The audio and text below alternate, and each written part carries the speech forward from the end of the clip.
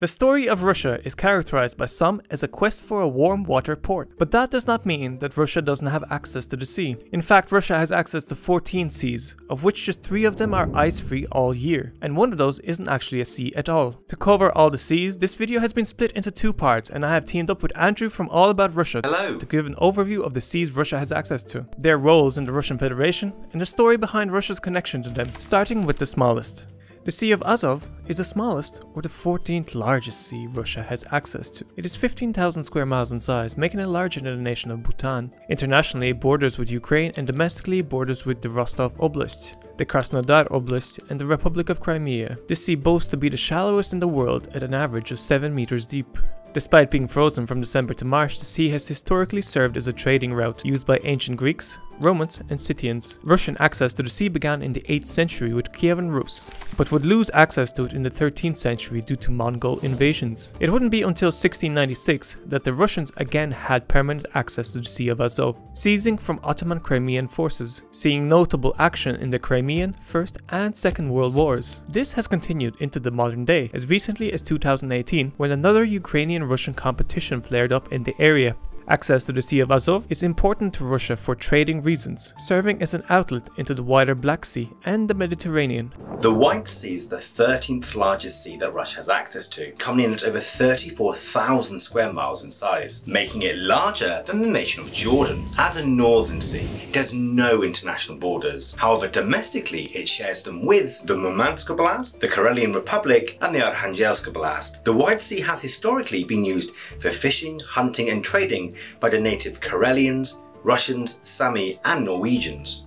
It takes its name from the ice which forms in the northern parts of the sea and is usually frozen from October through to June. However, along the coast it does remain ice-free year-round. The indigenous Karelians and Pomors had used this sea for centuries hunting and fishing, and the Russians had known of it since at least the 13th century, if not before. Norwegian Vikings had used the sea to both raid and trade with the Novgorodian Republic, who used the sea as their main trading artery, centered on the first ocean-faring port of Russia, Kholmogory. This would be followed by Muscovy in the 15th century, when they conquered the Novgorodian Republic. The breadth of the trade was not just limited to Norwegian goods, however, and this access tied the Novgorodians followed by Muscovy to the Hanseatic League, including the markets of the Netherlands, Germany, and of course England. The sea's proximity to the growing Swedish Empire, as well as its limited potential due to been frozen for much of the year, made it a precarious vein of Russia's trade network, one severed several times by invaders throughout the centuries. Gradually,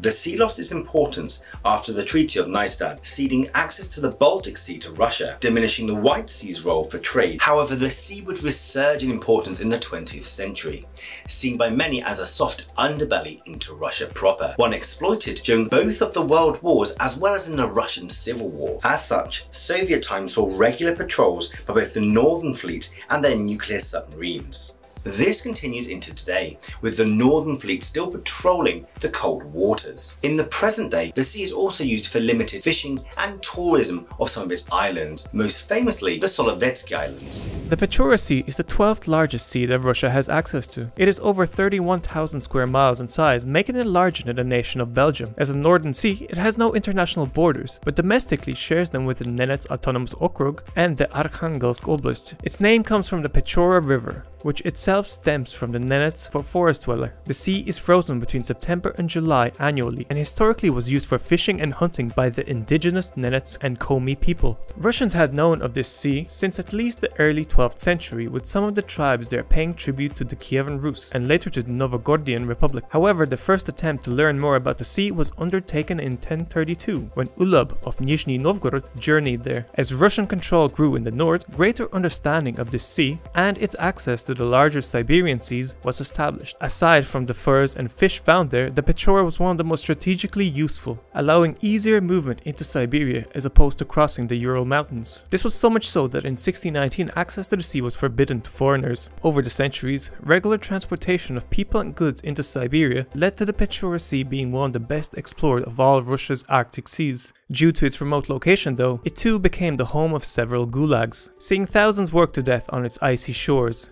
In the late 1980s, large reserves of oil were discovered leading to the construction of the world's first Arctic oil rig. The industrialization of such a sea did not go unchallenged however, and as recently as 2013, Russian Greenpeace activists were in conflict with the state over the matter.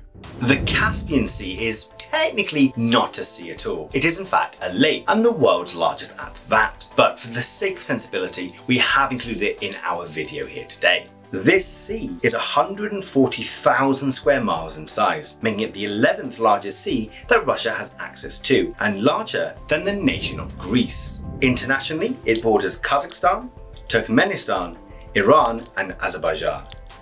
Domestically, it borders the Republic of Dagestan, the Republic of Kalmykia and the Astrakhan Oblast. The name Caspian comes from the Caspi people who lived at the southern end of the Caspian Sea, though some nations, such as Turkmenistan and Azerbaijan, know it by another name, the Khazar Sea.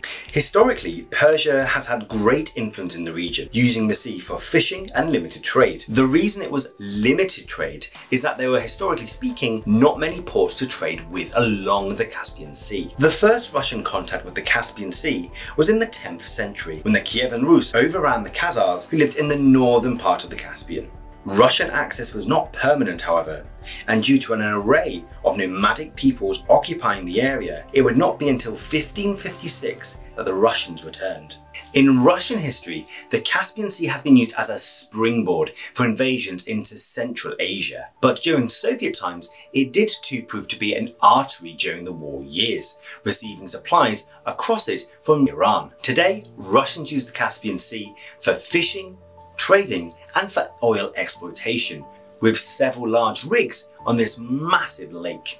Access to the Caspian Sea is very useful for Russia, as it does not freeze over at any point during the year. As such, the Caspian Flotilla is based at Astrakhan to deter any potential threats from across the water.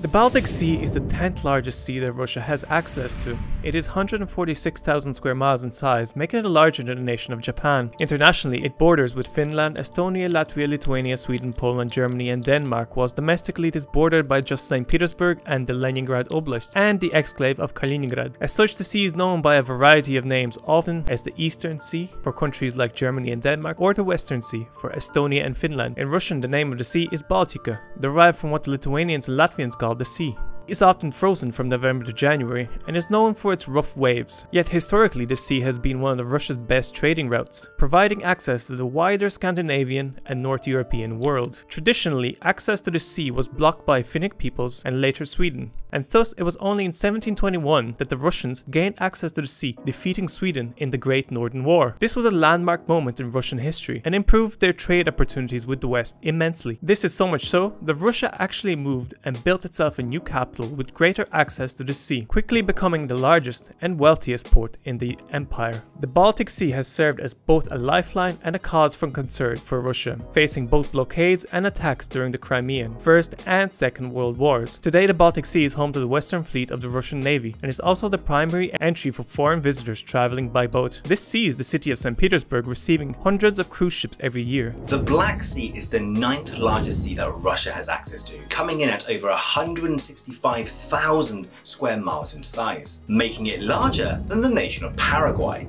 Internationally, it borders Ukraine, Romania, Bulgaria, Turkey, Georgia, domestically, it is bordered by the Krasnodar Krai and the Republic of Crimea. The name Black Sea comes from the dark waters of the region, though in ancient times it was known as the Euxine Sea, or the hospitable sea to the Greeks. The sea was traditionally an avenue for trade, and this is one that Russia still pursues today. This is because the sea hardly, if ever, freezes over, making it capable of being used as a trade conduit year round. It also serves as Russia's entrance into southern Europe and the wider Mediterranean world as well. There is an ancient history of usage around this sea, with the Greeks, Romans and Scythians all using it. Russian access to this sea came around the 8th century, when Kievan Rus traded and raided across it. Like the Sea of Azov, mentioned in the previous video, Mongol invasions cut off access to this sea in the 13th century, and it wasn't until 1783 that Russia regained permanent access, defeating and absorbing the Crimean Khanate in that same year. Russian access to this sea has always been a great source of controversy and conflict the Crimean War, both the First and Second World Wars, as well as the recent annexation of Crimea, all saw conflict around the Black Sea, contesting Russia's access to it. This is arguably the most important sea to Russia, enabling it to access the wider world and thus influence it. As such, the Black Sea Fleet is located here, regularly patrolling to deter any foreign designs on those waters, whilst commercially, every year hundreds of thousands of Russian tourists flock to the sunny beaches of Crimea and Krasnodar.